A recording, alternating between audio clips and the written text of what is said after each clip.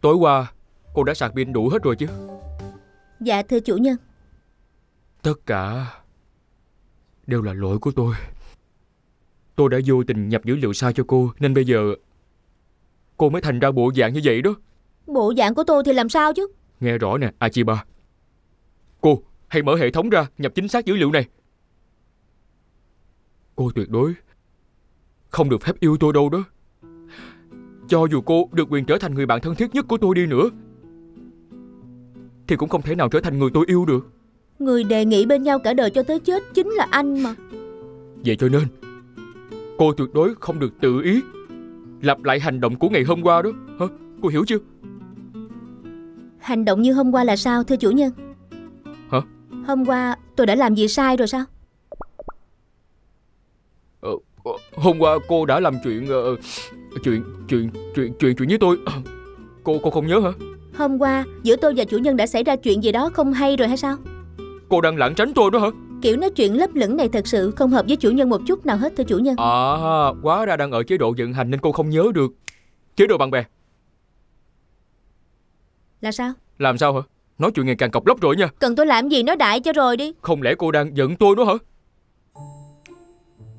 Tôi thật sự không hiểu anh đang muốn nói điều gì nữa. Anh nói lại cho tôi hiểu một chút được không? Sao tự nhiên cô lại quay về chế độ vận hành vậy hả? Đã có lỗi xảy ra nên hiện tại chủ nhân chỉ có thể thực hiện chế độ vận hành thôi. Cô mắc cười quá đó. À chị ba Chế độ bạn bè. Đã nói có lỗi xảy ra nên anh chỉ có thể thực hiện chế độ vận hành thôi mà. Nè Hôm qua cô đã với tôi đã, đã, đã làm vậy với tôi rồi mà. Hôm nay lại sửa sượng vậy không phải phép chút nào hết. Không biết tôi đã làm chuyện gì khiến cho anh trở nên như vậy chứ. Nhưng tôi sẽ không làm như vậy nữa đâu. Ai kêu cô đừng làm vậy nữa? Vậy tôi làm nữa hả? Sao Sao? Làm gì? Hôm qua cô đã làm gì? Hôm qua cô đã làm gì tôi? Nói nhanh lên Hả? Cô vẫn còn nhớ rất rõ đúng không? Hôm qua Thật ra thì đã có chuyện gì vậy thưa chủ nhân? À chị ba cô thiệt là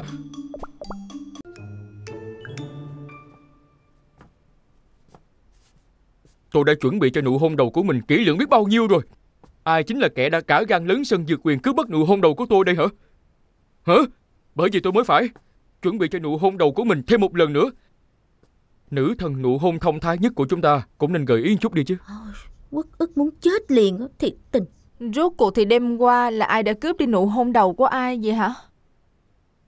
Ôi, Đã vậy có muốn cũng không trả lại được nữa Vậy thì lần này hôn phải cho ra hôn chứ. Vậy là sao Hẹn hò lãng mạn ở một nơi mà hai người có thể thoải mái đụng chạm vào cơ thể của nhau. Ví dụ như là lái xe.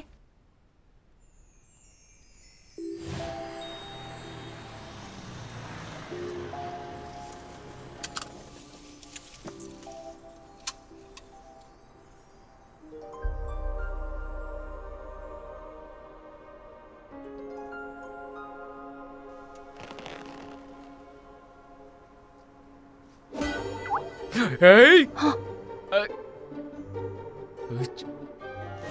ch-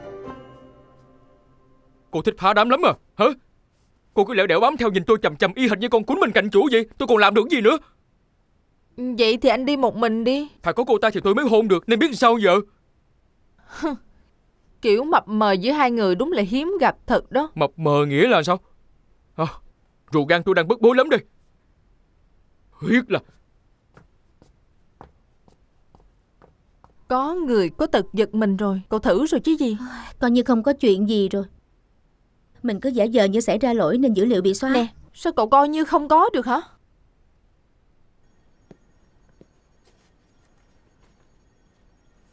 Vai à Kiểu ăn nói của tôi Bộ khó nghe đến vậy luôn sao Xét theo tiêu chuẩn thông thường thì nó... Đúng vậy. Đến mức nào À, chúng ta đã quá quen thân, vậy nên cho dù giáo sư có nói theo cách nào đi chăng nữa thì tôi cũng có thể hiểu. Nhưng còn đối với những người bình thường khác thì có thể họ lại coi trọng đến cả thái độ đi kèm của anh nữa. Vậy là thái độ của tôi Quá rác rưởi sao Xét theo tiêu chuẩn thông thường thì nó... Đúng. Còn tôi không nghĩ thái độ của anh vậy đâu. Có lẽ là tôi đã tìm ra Ký ức đáng tiếc nhất Với chu chia trong ký ức của tôi ngày đó rồi Anh đến rồi hả Sao em cứ làm những việc anh không bảo em làm vậy? Suy nghĩ điều rồi hãy làm chứ.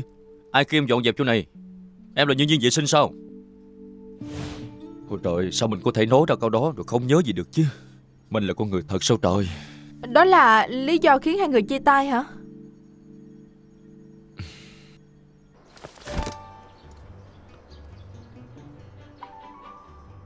Trời đâu có mưa. Sao tự nhiên anh mang dù ra đây làm chi? Cô nhìn kỹ chiếc dù này đi. Cô không nhớ ra được điều gì hết hả? Không nhớ được. Ký ức liên quan tới chiếc dù này nhất định là đã bị lưu nhầm chỗ nào đó trong bộ nhớ rồi đó. Hử? Cô mau nhớ lại giùm đi mà. Tôi thật sự không hiểu ý anh là gì nữa. Như vậy nè.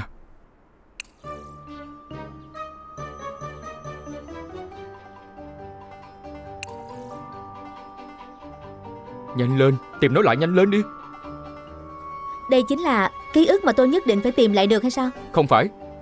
Đây chính là ký ức mà cô phải xóa bỏ. Nhưng bây giờ bộ nhớ của tôi đâu có gì để xóa bỏ đâu. Sao lại làm vậy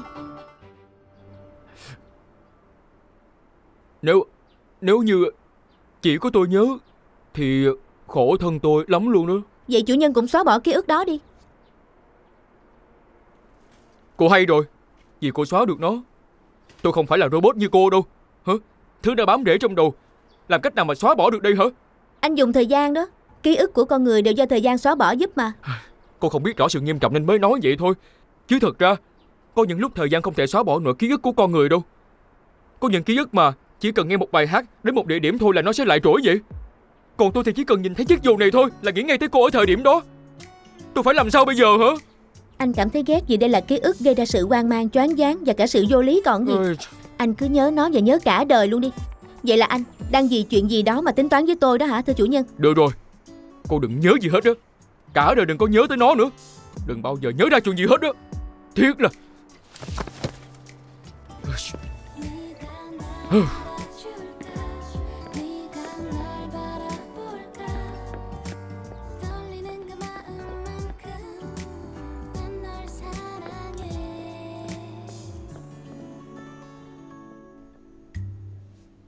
Không thể nào có chuyện đó được Đây là chiếc mà tôi quý lắm Sao lại bỏ quên được Liệu có phải sự cố hy hữu này là ý trời không ta Tôi cũng không biết là do đâu.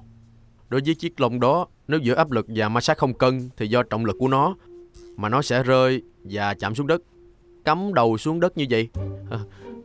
Đem nó đến cho cô rồi, vậy tôi xin phép nè. anh, anh không uống cà phê mà đã đi sao Vì dội đi mà tôi đã quên mang theo bóp. Nếu lần sau nhất định tôi sẽ mua. Vậy anh hãy mua thiếu đi Ờ, Nhà tôi có dạy là tuyệt đối không được thiếu nợ người khác dù chỉ một won. Ê, Anh này là sao vậy Sao? Hả? Cô không có nói gì với tôi hết chứ? Tôi làm sao Ờ, Hình như cô có nói mà. ừ, Tôi đâu có nói anh gì đâu Ừ, cô Junhee, ờ, Hốc tên Tiền bối à Ờ.